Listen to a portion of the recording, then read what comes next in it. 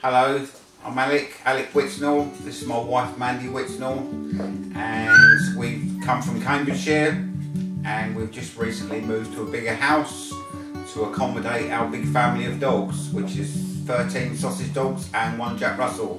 When did we start collecting sausage dogs? That was 16 years ago when we first got these two here, Tia and Sally. Um, went for one and came back with two because we couldn't decide. We then got Joey here. Um, and then we had some puppies and we kept Safi. Uh, we had Maisie and the rest puppies. sort of. we've been collecting puppies and uh, sort of having a litter and keeping one or two. What do we love about sausage dogs? Uh, they're really, really fun, energetic, love to run around and play. They're really, really affectionate. They just love to sit on your lap as well at night. Yeah, they're just really, really lovely little loyal dogs. When did we realise we're going to need a bigger house? When we got to about six, I think, and then uh, been saving up ever since, and Yeah. we've just achieved it. so why do we need a bigger house? Um, probably to have more dogs in the future.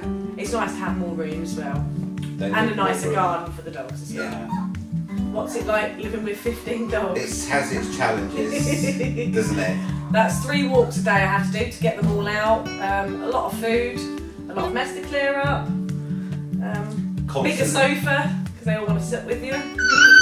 constantly washing the beds. It's, Yeah, it's quite, it's yeah, it's a lot of full-time job. housework. Yeah, a lot of housework. Keep it nice. Do you plan on bringing any more sausage dogs into the house? Most likely.